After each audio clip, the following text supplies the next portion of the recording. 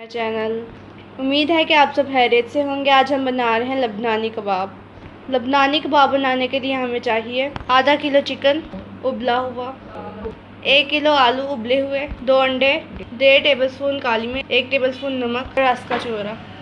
Chicken के रेशे काट लें और आलू को छील के मैश कर लें। चलिए अब स्टार्ट करते हैं। क्रम्स में और अंडे में थोड़ा सा नमक ऐड कर लें। हम सारी चीज़ें मिक्स कर लेंगे। आलू को आलू को चिकन में शामिल कर लेंगे। अब हम इसमें काली मिर्च ऐड करेंगे और नमक इसको मिक्स कर लेंगे। अब हम कबाब को शेप देंगे।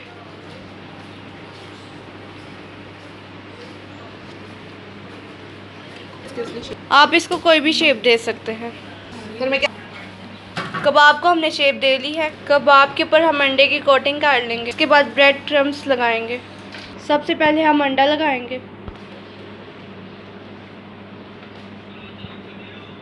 फिर क्रम्स लगाएँगे इस तरह से।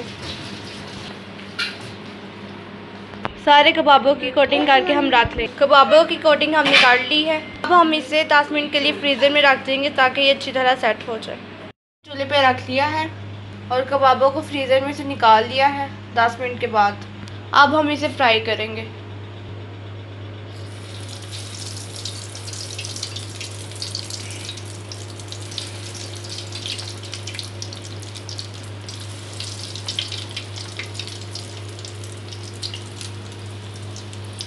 मीडियम फ्लेम पे हम इसे फ्राई करेंगे।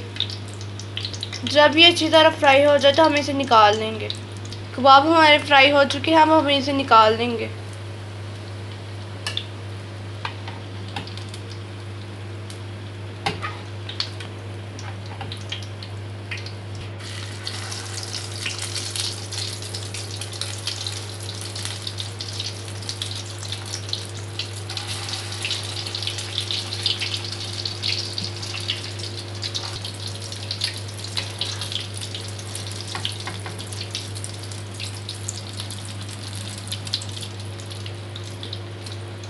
जब एक साइड ब्राउन हो जाए तो हम साइड टर्न कर लेंगे, ताकि दूसरी साइड भी ब्राउन हो जाए।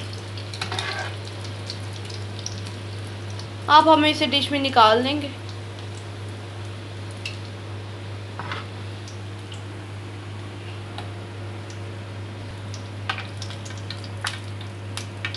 और फ्लेम को बंद कर देंगे। कबाब हम कबाब हमारे तैयार हो चुके हैं। हमने इसे डिश में निकाल लिया है। ये देखिए कितने सॉफ्ट और ज़बरदस्त बने हैं।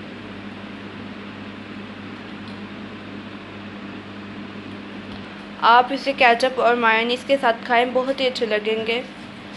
अगर आपको ये रेसिपी अच्छी लगी है तो लाइक करें, अपने फ्रेंड्स और फैमिली मेंबर्स के साथ शेयर करें। अगर आपने हमारे चैनल को सब्सक्राइब नहीं किया तो सब्सक्राइब कर दें। अगर आपको हमारी रेसिपी अच्छी लगी हुई तो कमेंट में बताइएगा।